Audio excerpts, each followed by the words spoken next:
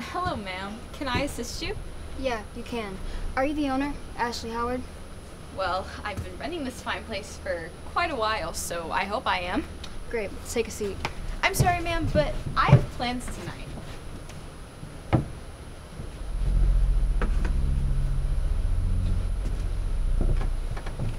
You see that alley in the street over there?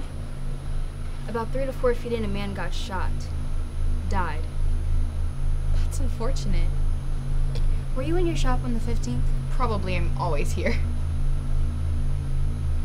Just out of curiosity, what kind of gun did he use? A standard Glock. You mind if I peek into your shop? I like to look around. I'm sorry, but is there a chance you can come by tomorrow? I'm on a time crunch. I'll only be a few minutes. Ma'am, I have to ask, who are you? A detective. Detective Olivia Gilbert. Detective. Oh, well, why didn't you say so to begin with?